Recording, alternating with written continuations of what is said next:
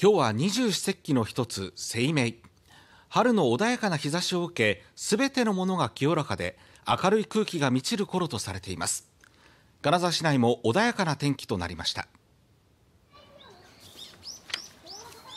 今朝の最低気温は金沢市で11.8度輪島市で10.5度と5月上旬から中旬並みの暖かい朝となりました。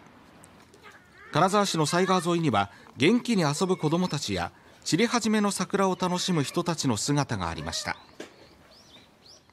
雪柳とかいろんなお花も咲いてるんで、うん、楽しみの一つです散歩の。はい。ピカピカの1年生。ちょっと悲しいけど桜が咲いて嬉しい。でランドセルは黒くて青いラインが入っています